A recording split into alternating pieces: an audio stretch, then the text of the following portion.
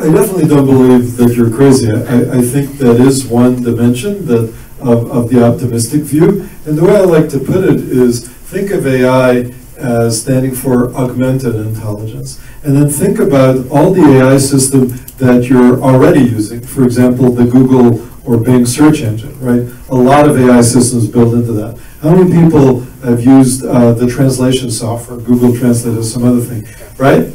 Uh, that's uh, uh AI uh, par excellence. So it's constantly the case that AI is empowering us. When I was talking about autonomous vehicles, it's important to understand uh, these vehicles are going to make us a lot safer, but they're not going to decide where to go. Right? It's not like you get into this car and say, "Hey, I, I want to go," you know, "I want to go home," and it's like, "Nah, let's go to a bar and have a few drinks." That's not how it works, right? So AI is very much a tool, and it's a potentially very empowering tool, potentially empowering of our creativity, both by reducing the drudgery that we have to engage in, and by giving us uh, more successful tools. So a project I haven't mentioned yet is Semantic Scholar. It's an AI-based uh, search engine for scientists, medical researchers, and ultimately um, everyday folks who want to be educated about science. It uses AI to cut through the clutter and help you uh, home in on the information you're looking for.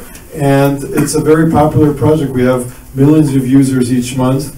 Uh, check it out at semanticscholar.org. And it's meant to do exactly what you're talking about, make the literature search um, more efficient so that you, as a scientist or a researcher, uh, can, can do a much better job on the more creative stuff that machines still cannot do.